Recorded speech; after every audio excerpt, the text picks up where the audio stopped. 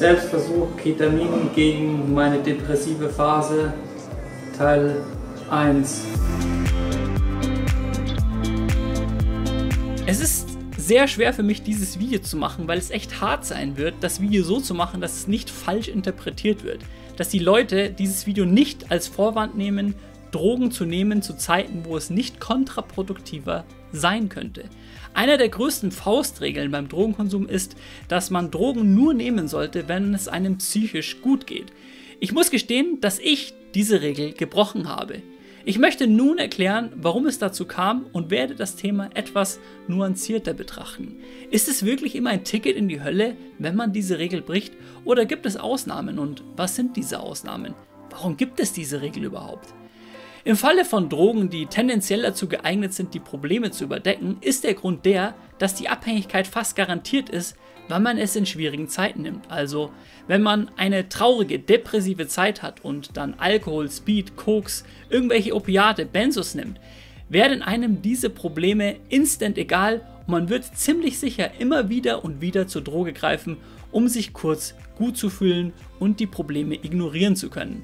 Häufig ist es sogar so, dass man Drogen vorher schon in vernünftigen Abständen ab und zu genommen hat und davon ausgegangen ist, dass man jetzt nicht der Typ ist, der von irgendwas abhängig ist, dann aber ein schwerer Schicksalsschlag kommt und man dann schnell abhängig wird. Genau genommen kenne ich kaum eine Suchtstory, die sich nicht genauso zugetragen hat. Und gerade eben, weil ich so viele Stories kenne, bei denen es sich so zugetragen hatte, war es mir verdammt wichtig, im Jahr 2019, wo ich über ein paar Monate hinweg aufgrund von Ereignissen in meinem Leben eine verdammt depressive Phase hatte, keine Drogen zu nehmen, die meine Probleme überdecken können. Es gibt kein Jahr, in dem ich weniger Drogen genommen habe als 2019. Ich habe wirklich kein einziges Mal Drogen genommen, um meine Probleme zu überdecken. Aber wie ich schon angedeutet habe, habe ich jetzt nicht komplett auf Drogen verzichtet und zwar habe ich fast ausschließlich psychedelische Substanzen genommen.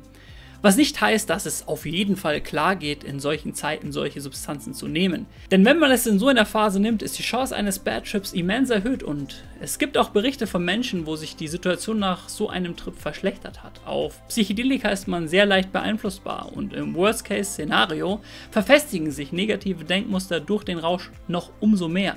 Aber weil genauso eine Änderung zu positiven Denkmustern möglich ist, habe ich diese Regel eben ein paar Mal gebrochen. Genau genommen hatte ich in der Zeit zwei LSD-Trips, eine Ketaminerfahrung und noch ein paar 2CB-Erfahrungen. Sehr wichtig war dabei, dass ich bereits mit den Substanzen vertraut war, also wusste, dass ich zumindest vor dieser Lebensphase gut drauf klarkam. Es gibt ja durchaus viele, die nicht mal auf solche Substanzen klarkommen, wenn ihr Leben gerade perfekt ist. Wenn dieser Typ Mensch das dann zum ersten Mal in einer schwierigen Phase seines Lebens nehmen würde, wäre das vermutlich verheerend. Und um auszuschließen, dass sich negative Denkmuster auf dem Trip zu sehr in meinen Kopf brennen, ließ ich die Trips nur in Begleitung von extrem positiven Menschen stattfinden, was eigentlich immer eine gute Idee ist. Mein erster LSD-Trip in die Richtung war, als ich gerade mit Freunden auf einem Urlaub in Kroatien war. Am zweiten Tag nahm ich Ketamin, weil diesem Stoff ja eine antidepressive Wirkung zugesprochen wird, die auch nach dem Rausch anhält. Selbstversuch Ketamin gegen meine depressive Phase Teil 1. Der Toaster ist schon besetzt, Leute. Ihr könnt euer Toast nicht mehr toasten, der Toaster ist schon besetzt. Leute, 3, 2, 1, wir nehmen uns normal. 3, 2, 1, normal. Ich bin normal! Während des Rausches ging es mir zwar ganz gut, aber am nächsten Tag ging es mir eher komisch. Also definitiv nicht, was ich mir erhofft hatte. Ja, hat leider nichts gebracht, das ganze Ketamin. Jetzt so. Jetzt, oh Mann, Mann. Andere berichten darüber sehr Positives. Da sieht man mal wieder, wie unterschiedlich die Wirkungen von Person zu Person sind. Und am vierten Tag hatte ein Großteil der Freunde Lust auf einen kleinen LSD-Trip.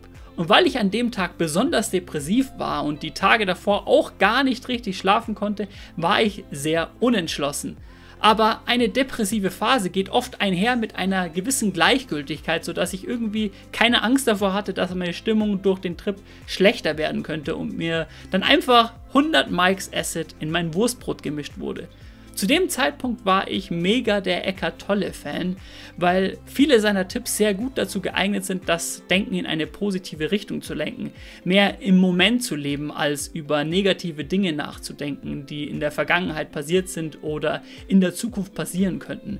Ich hatte mir für den Trip jede Menge YouTube-Videos und Audiobücher von Eckart Tolle auf mein Handy geladen, in der Hoffnung, dass sich seine Aussagen auf dem Trip viel eher einbrennen. Leute, ich höre mir jetzt Eckart Tolle an, während ich hier auf diesem LSD-Trip bin.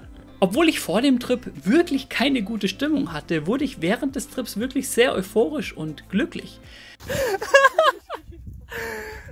ich bin ein Madhead. Ich bin ein Madhead-Actor. Dass solche Drogen alle Emotionen, die man vor dem Trip hat, verstärkt, stimmt also scheinbar nicht immer. Jeden Tag esse das gesund. Ich konnte wirklich deutlich eher im Moment leben und mich daran erfreuen, dass ich mit meinen Freunden gerade eine geile Zeit verbringen konnte. Weisheit des Tages. Höre niemanden zu und lebe in einfachem Moment, wie Eckart Tolle sagt.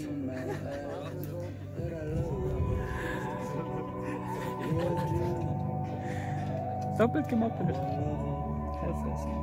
Der Trip war von allen Trips in solcher Dosierung mit Abstand der schwächste. Während ich sonst immer bei einer solchen Dosierung komplett den Verstand verliere und nicht mehr richtig ansprechbar bin, war ich da geistig durchgehend erreichbar. Bei dem Part des Trips, wo ich sonst immer in die Phase gelange, wo ich nicht ansprechbar bin, hatte ich eine kurze Phase der Trauer, aber es war eine sehr befreiende Trauer. Und ich war zu diesem Zeitpunkt des Trips nicht der Einzige aus der Crew, der etwas wässrige Augen hatte. Am Ende des Trips hatte ich voll Lust bekommen, einem kürzlich gewonnenen Freund zu schreiben, der keinerlei Erfahrung mit sowas hatte, dass ich unbedingt mal mit ihm LSD nehmen muss, was dann auch ein paar Monate später passierte. Die Aufnahmen von diesem Trip kennt ihr. Du filmst mich. Du hast einen YouTube-Channel, Bro. Ich habe einen YouTube-Channel. Ja. Und Akku. Genau, Akku ist fürs Handy. Und das haben wir Das ist mitgenommen. das Handy und Handy haben wir mitgenommen. Ja, genau. Die positiven Vibes des Trips hielten definitiv noch ein paar Tage danach an. Die depressive Phase kam nach dem Urlaub allerdings schon zurück. Ich kann jetzt nicht sagen, ob der Trip nachhaltig zu meiner Genesung beigetragen hat, würde aber schon darauf tippen, weil ich mich immer sehr gern an diesen Trip erinnerte. Der Gedanke an diesen Trip konnte mir also das ein oder andere Mal ein Lächeln ins Gesicht zaubern. Und das tut es genau genommen heute noch, zu Zeiten, wo es mir wieder gut geht. Simon sagt also, ich soll Drogen nehmen, wenn es mir nicht gut geht. Nein, ich habe lediglich meine Erfahrung geschildert. Das Ganze kann auch genauso gut nach hinten losgehen. Bitte orientiert euch da nicht nach mir, sondern lest euch auch Geschichten durch, bei denen es schief ging. Vielleicht eignen sich ja die Kommentare dazu. Also, falls ihr mal Drogen in einer schwierigen Lebensphase genommen habt, schreibt in die Kommentare, wie es bei euch gelaufen ist. Am ersten Tag hat mich der Weg zum Strand voll genervt. Aber mittlerweile denke ich mir so, eigentlich ist der Weg geil. Vielleicht sogar geiler als der Strand selbst. Vielleicht ist das auch so eine Metapher fürs Leben. Wir wollen alle zum Strand und vergessen dabei, den Weg zu genießen. Und vielleicht